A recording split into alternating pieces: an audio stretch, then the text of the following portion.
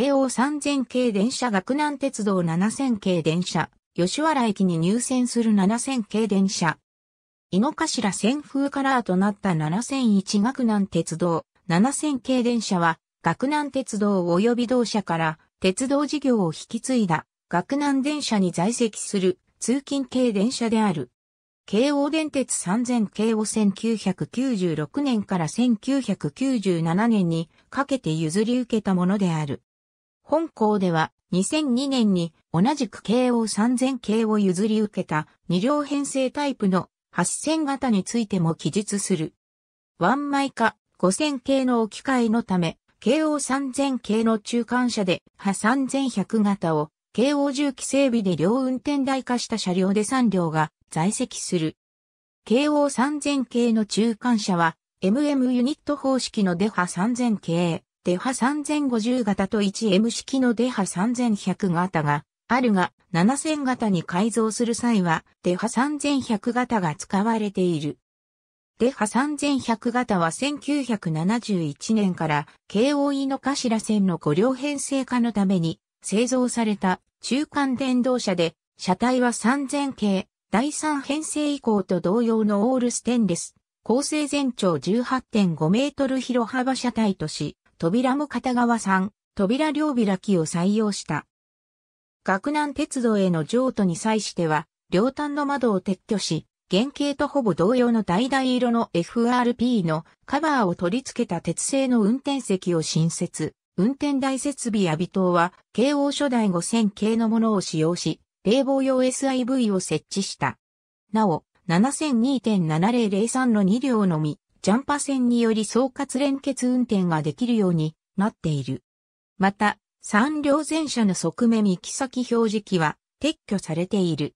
1996年12月5日に7001が竣工し、翌1997年3月8日より営業を開始した。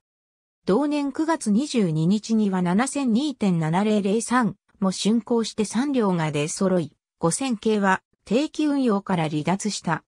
その後5000系は5002回が予備車として残っていたが、後継の8000型によって置き換えられている。2016年3月20日、7001の塗装が、京王井の頭線時代を彷彿させる、ブルーグリーンカラーに変更された。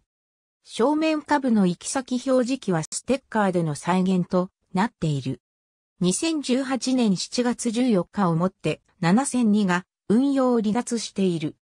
7002の引退以降、季節ラッピングは7003が担当している8000系8001定期運用から離脱したものの予備車として残っていた5000系を置き換えるため2002年に登場した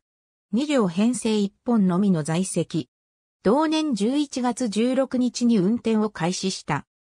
7000型と同様、京王3000系を京王重機整備で改造の上導入しているが、部品供給の関係で運転台機器は、京王6000系の廃車発生品を使用し、学南鉄道では唯一のワンハンドルマスコンとなっている。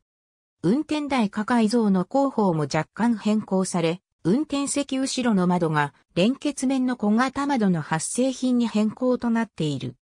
また、主車の製造時期の違いから空調機器などで車両によって違いがある。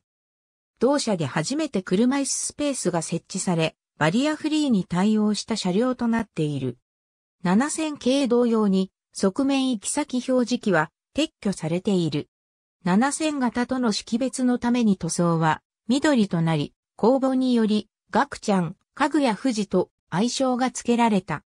愛称の由来は同社の愛称であるガクちゃんと沿線が竹取物語発祥の地であることから、同作登場人物の家具や富士市の富士にちなむ。昼間など運用されない時は、学南江の駅構内に留置されている。ありがとうございます。